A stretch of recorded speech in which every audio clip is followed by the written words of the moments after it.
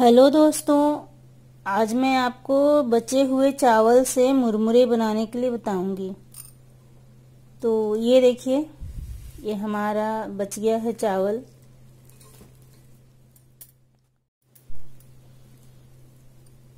इसको इस तरीके से पहले हम अलग अलग कर लेंगे।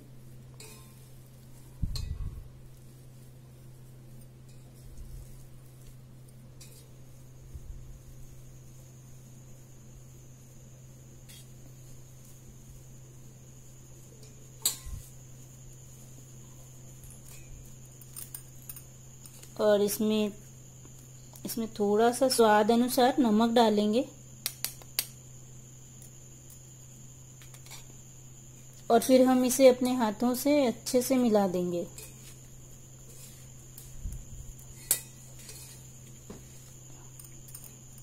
और मिलाने के बाद ये हमने पॉलीथीन डाल लिया है।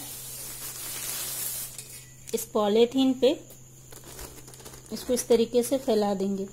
इसे हम पंखे के नीचे ही फैला रहे हैं। अगर आप धूप में चाहें तो सुखा सकते हैं। पर बाहर क्या धूल वगैरह लग जाता है? इसलिए पंखे में सुखाइए। पंखे में भी गर्मी के दिनों में अच्छे से सूख जाता है।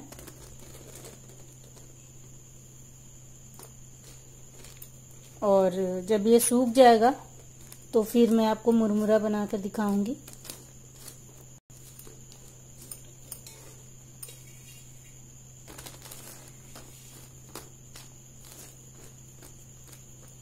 और जो ये गोल गोल इस तरीके से बने हुए हैं, जुड़े हैं एक दूसरे के साथ, उन्हें आप ऐसे धीरे धीरे कर कर अलग कर लें और इसे अच्छे से सूखने दें। अच्छे से दो दिन तक ये अच्छे से सूख जाएँगे, उसके बाद हम इसको मुरमुरे बनाने के लिए इस्तेमाल करेंगे।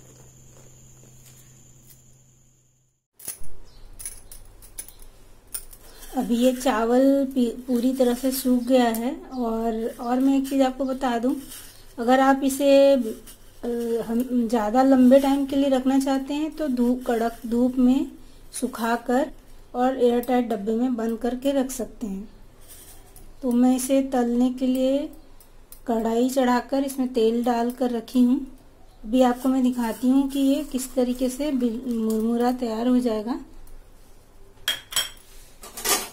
इसके लिए हमने दो जाली वाले छन्नी लिए हैं और इसको इस तरीके से चावल को छोड़ देंगे। और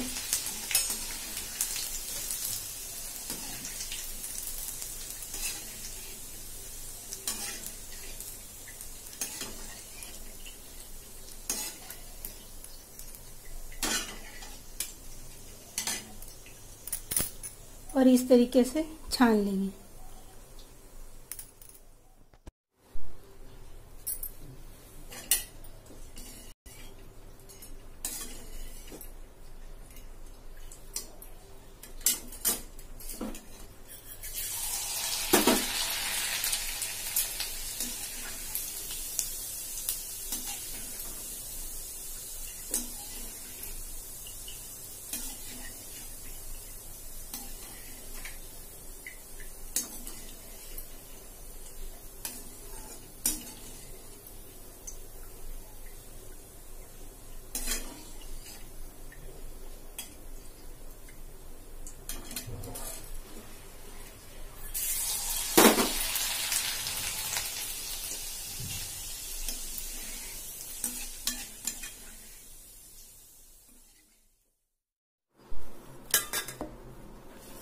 अगर आप इस मुरमुरे को झालमुड़ी बनाकर खाना चाहते हैं तो भी खा सकते हैं। देखिए, बिल्कुल फ्रेश इस तरह से दिख रहा है।